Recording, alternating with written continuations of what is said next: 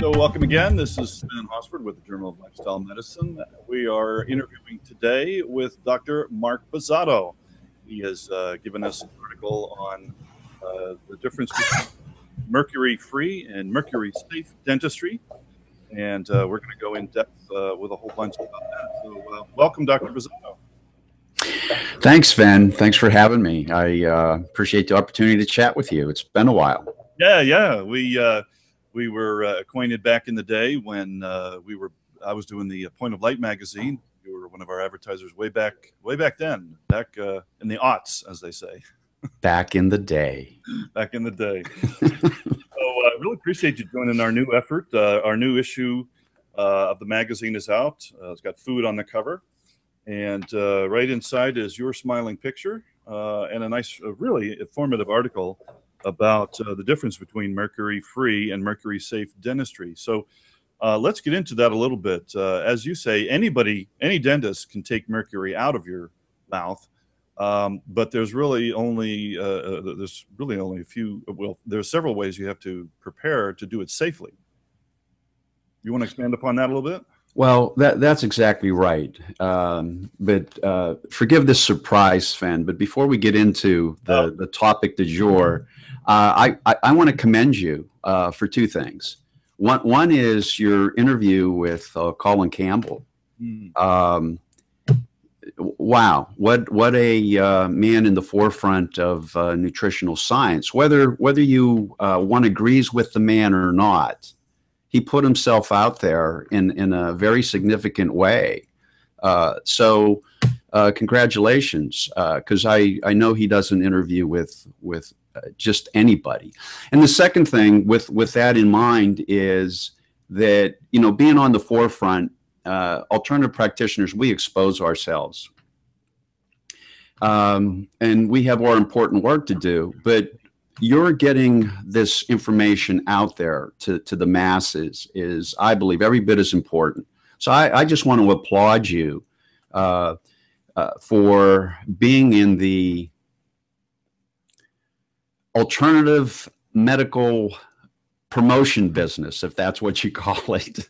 Well, you know, it's funny because I don't even like to think of it as alternative. Uh, it's um, it's natural. It's what works. It's it's functional. I mean, functional medicine is now a term being used.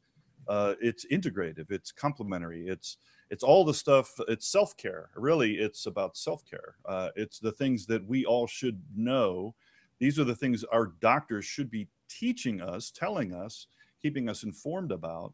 And uh, just because of the system, even doctors that want to do it the correct way and really want to inform their clients don't have the time, don't have any way to be reimbursed for it, uh, or, uh, you know, so it's really up to us to get the word out there and uh, keep people informed and, and, and keep pushing the real science because uh, as they say in the, in the movie, uh, you know, the truth has a way of not going away. Right? I can't remember how they phrased it, but uh, the truth always sticks around.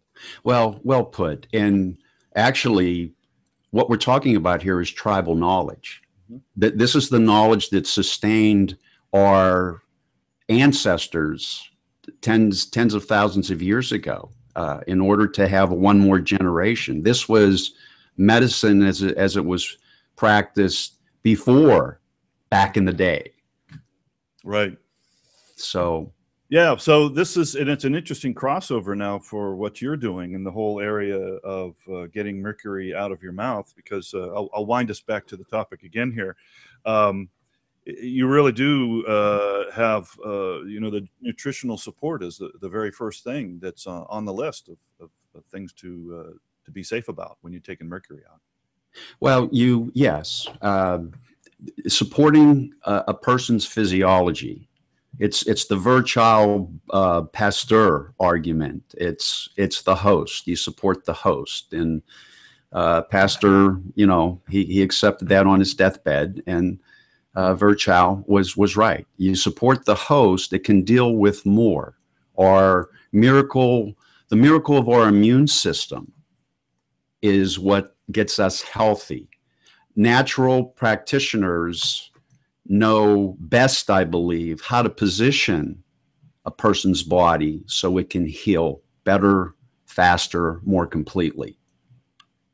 you know what? I, and I'm as I'm sitting here listening to that, I'm I'm wondering maybe we should even start with uh, why mercury is dangerous and why you need to get it out, and what arguments can I have when I go see my 72 year old dentist and he tells me, ah, it's perfectly safe.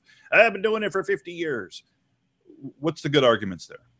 Well, and the problem is you're going to get the same arguments from uh, uh, a 27 year old dentist who's been practicing six months, uh, and all all the allopathic dentists in between.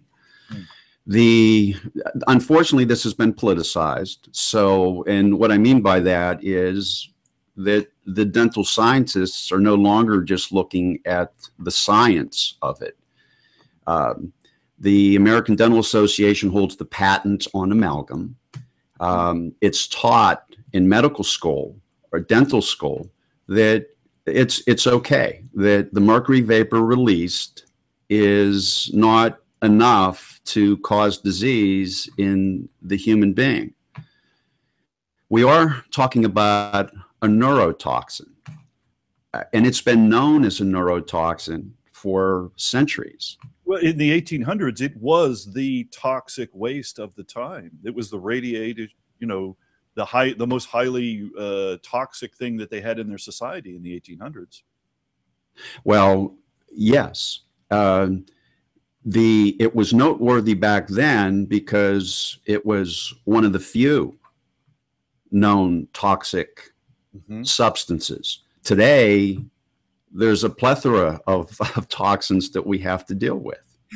Well, I, I think uh, you, you, you dropped a bombshell on me. I didn't even realize this. You say the ADA, the American Dentistry Association, the Dental Association, holds the patent on amalgam using mercury. Yes. They are the ones who, for as long as they've existed and as long as they've held the patent, presumably, been saying that it's perfectly safe. So I always assumed they didn't want to change their stand because they would have to backtrack 140 years of dental history or whatever it is. But now they hold the patent. They're directly liable if there's any links made in a court between mercury and and diseases. Has there been any court battles that you know of? Actually, they're they're not liable. They've they've positioned themselves uh, and the American Dental Association is a trade union. Union. Right. It's right. it's not a government agency. That's right. And it uh, they've made it clear, and and they did this, I believe, back in the early 1990s, that the dentist was left to his or her own devices in recommending any material. Now, this came out when the American Dental Association had to concede that all of the mercury was not bound by the amalgam. The amalgam's a mixture. It's there, there's there's no chemical binding of the elements. There's 50% liquid mercury, elemental mercury, combined with uh, silver, zinc, copper, tin, and it's mixed together. And it's it's it, it's it's uh, dispensed as a putty, and it, it will fill voids. So uh, when the, the the genesis of this was that this material to use, it was cheap. Frenchmen in the let's say it was the mid 1800s, and the the dental association that was established in the United States at that time um, said, We're not using this material because it has a neurotoxin in it. but what happened with the member dentist was that they wanted to use the cheap stuff because that's what the consumer wanted, and the consumer didn't understand. So there, there was this disregard for the science and the when when the majority of the dentists decided to use amalgam, they formed their own dental association, the American Dental Association that exists today. So that's how it came about was so that dentists could use this mercury filling. Yes, but the the, the story has a layer of irony to it.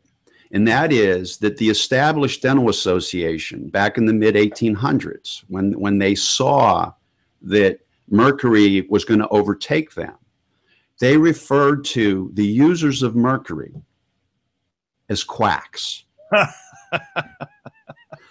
and the, the term quack is derived from the German word for elemental mercury, quarksilber, quicksilver, quack. And that's been turned around 150 uh, years later, and it's it's just one of those paradoxes that uh, of, of life. When you get old enough, it's okay. Here comes another one of those. And here, I thought the whole thing about quacks was something to do about ducks. I really yes, where the term came from. oh man, because you're you're out squawking. A, a, never mind. Let's go on to something else. That, that just blows my mind. All that stuff. Um, so, so Sven, uh, I, I was telling you back in uh, around 1993, 1994, the American uh, Dental Association had to concede that the mercury was not chemically bound, that right. that mercury vapor escaped. Now, I remember you showing us the slide uh, when the first time I saw your presentation on this, and you had a picture, a, mic, uh, a microscopic picture of a 25 year old filling and it still was leaching mercury. You could see drops of mercury on the side. Do I remember that correctly? Yes, and the the the, the video uh, the the video science that proved that the vapor existed was was done in 93 or 94 and the american dental association changed their uh, their ethics law to prevent anyone from speaking about the, the, the release of the vapor and prevented any dentist from suggesting to uh, uh, a, a, patient that their mercury or their filling should be removed because it has a neurotoxin in it. So they they wanted doc dentists not to talk about that. Yes. So what what what we do is I can't I can't tell now in, today I'm exercising my First Amendment right of free speech. Right. Yeah, we're here on a broadcast. You don't have a patient in front of you. And and that that was tested in court. Uh, and uh, a, a, New England area dentist was totally beat up. Um, drained of finances, career ruined, but he he won, and God bless him. He won the right for uh, any uh, uh, alternative practicing dentist to to talk to someone like you, like I am today. No. Well, it's a shame that you're, even considered alternative. I mean, you're by the terms of what's happening in the the rest of medicine. You're a functional dentist. You're talking about the functionality of food as medicine and the whole understanding of the toxic load that we're under and providing ways to lessen that burden. So I, I kind of bristle at the, the idea that you're alternative. I think you're you should be the mainstream. should be, yes. Another one of those paradoxes. Yeah, yeah. They call you the quack, and you're the one get the quarks so out of them out of the people's mouth. Most most human biochemists and most human physiologists would, would agree that there is no biological reason for mercury in the body. Yeah. There's no benefit. It conversely uh, expresses itself in a lot of dastardly ways in yeah. the body. It's it's it, uh, it, it affects the central nervous system. It it affects the uh, alimentary canal. It, it affects um, uh, uh, organs and organ systems. And it interferes with enzyme symptoms. Um, and it does this, and the World Health Organization, I think back in 1991, um, voiced that that a person's primary exposure to mercury vapor was from dental work. not from not from fish. Not from fish. And well, here in Western Pennsylvania, we've got a lot of coal-fired plants that are putting mercury into the air uh, upwind of us. So yes, we have one of the highest concentrations of mercury in our breathing air as well. Yes. So, so how, I'm sorry. How do, would would some of those symptoms when you talk about neurological and and uh, all those sorts of things is particularly the alimentary canal? What would that manifest as? How what symptoms would I experience that would make me think I might be having uh, too much mercury in my system? Wish that it worked that way, Sven. They the, the, the, symptoms are are legion. They're all over the board, and they affect every one of us differently, and it's subtly because this isn't this this this, this is a low dose, long term exposure, and it depends on the quality of a person's immune system. I wish that upon exposure to mercury, everyone's right earlobe would turn purple It'd be a no-brainer. But but it's it's the antithesis of that. So, so someone someone could have diarrhea, and they've done everything, and no one can figure out why. Well, it, it could be the mercury. The mercury interferes with the microbiota of the alimentary canal. And so it could have that consequence. Wow. Wow. Okay, so um, wow, that's really depressing now. because well, I can see why that's also the, the difficulty in tying this legally, uh, mercury to any diseases because it's um, because of its it, it, like you say it, it could be any kind of thing, and until I would think the only way you can determine if mercury is the cause is when you take it out. Does those do those symptoms go away? Is that what happens when you when you remove the fillings from people's heads? No. Rem rem removing the fillings could make it worse if the patient isn't protected. Yeah, yeah. Okay, because they're going to get an acute exposure to mercury vapor, and and some would get an exposure in excess of what OSHA and the EPA deems as as safe. The um, in in that presentation all those years ago that you referred to, I was citing, and anyone can see this video either at my website nutradentist.com or on YouTube. It's called the smoking teeth video, mm. and it shows with special backlighting the release of the mercury vapor um, on a 25 year old amalgam on an extracted tooth. And the, the doctor presenter, he rubs an eraser to simulate a tooth cleaning, and more, more mercury vapor wafts off. And he, he, he scrapes a knife against it to, to stimulate the drill. And there, there, there's just a ton of the mercury vapor uh, that's released. So, uh, any dentist knows how to remove a mercury filling. It's done every day. What shouldn't be done is be unprotected and then have another mercury filling placed. There's another dentist that say they're they're mercury free. They don't place amalgam fillings, but they're oblivious to the functional reasons, the biochemical and physiological reasons for protecting their patient. And then there's dentists like myself who are mercury safe. We treat the mercury filling as a neurotoxin. We treat it very seriously because we understand the adverse impact on the patient.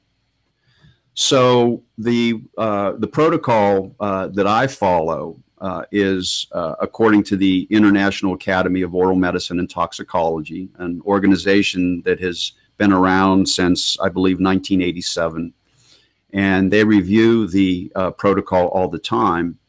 Um, as a matter of fact, um, I've added a step to the protocol uh, since I wrote the article, um, which um, is having my patient swish and swallow a slurry of um, of um, uh, food grade uh, carbon, uh, carbon powder. This coats uh, the tongue, the, all the tissues in the mouth, and when they swallow it, it protects the alimentary canal. Wow. So, um, but, but Sven, how, how this works is uh, the, the, the vapor, you can't see it, you can't smell it. So it's like carbon monoxide, only it's going to kill you differently from carbon monoxide. Uh, it's going to take decades for that to happen, and you're you're going to function. Your your your your ability to function is is going to diminish, and, and you're not going to understand why. But 80% of the vapor is absorbed in the lungs. The rest is uh, it's it's either ingested with a swallow or it's absorbed through the um, the oral mucosa, the, the, the gums and, and, and the, uh, the, the tongue and the tissue. The immune system, the colon, kidney, um, liver, and sweat glands are doing everything they can to void what winds up in the blood. Goes to the lungs, gets into the blood, and over a 24 hour period, the body's trying to void it. Well, if the influx of the vapor exceeds the physiological capacity of the immune system to void it, then you get what's called a bioaccumulation, a buildup. And mercury, it's so widely used in industry because it combines with everything, primarily sulfur. And there, there's sulfur used um, as part of the enzymatic processes, but it will bind with anything. So it will go deep into cells. Now, you ask me, will someone get better once their amalgams are removed? Even when they're safely removed, what, what has been accomplished is that person's primary exposure to the neurotoxin has been eliminated. They need to be detoxed. Right. In order for them to experience the health benefit.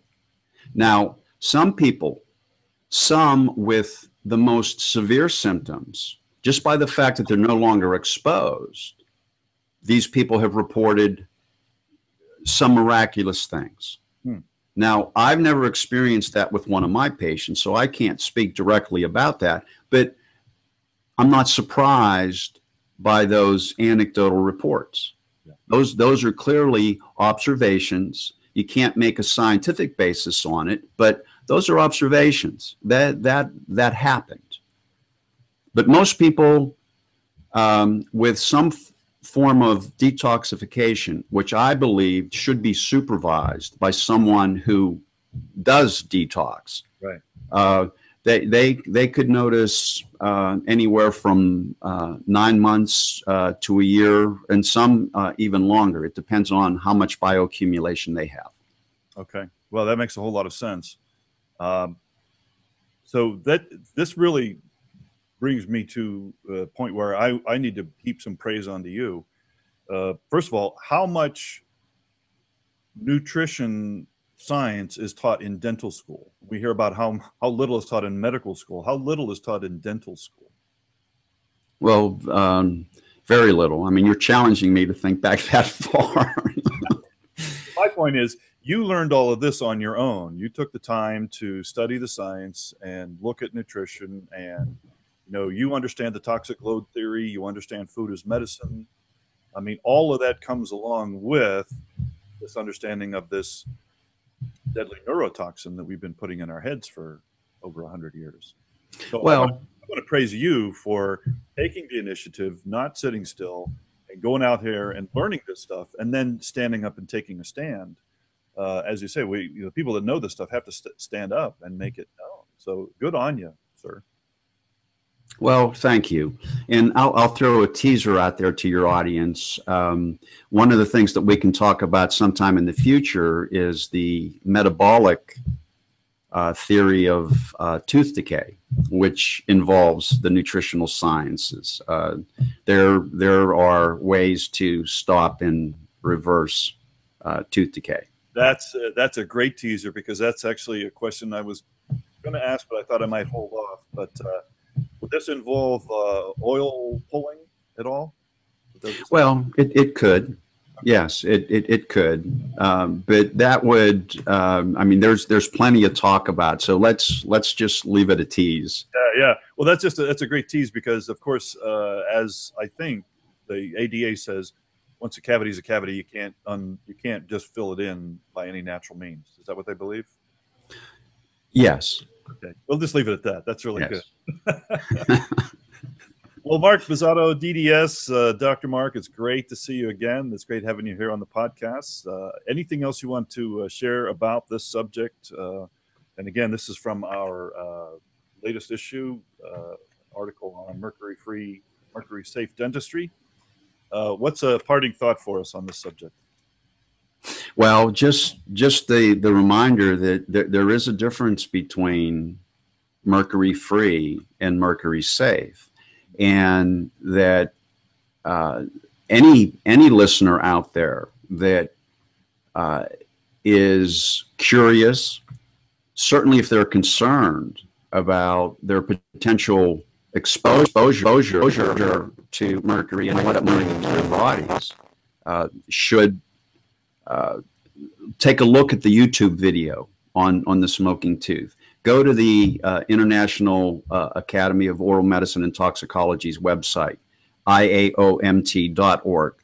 Uh, look at the information on NutraDentist.com. Um, there's uh, th th there are many other resources, and uh, go, go to your dental practitioner and question them and you know, I unfortunately I hear stories about how uh, some uh, some of, of my new patients they they just get tired of arguing with with their uh, practitioner. They just want to be protected and uh, don't expect to uh, compel or persuade your practitioner uh, into this. This this is this this is a science in in the protection there, there, uh, and if when when you read the article, you'll understand a little bit about why these things, why these steps are taken. Uh, but every one of us, we're responsible for our own health. We're responsible for protecting ourselves from the, the toxic world. We're responsible for feeding our bodies as nutritionally as, as we know how. Uh, only a fool would rely on uh, the government and, and the agencies to, to protect ourselves. That's been unfortunately proven. Well, that's, uh, that's good advice. And uh, we are hopefully the gathering of the non-foolish right here. Dr.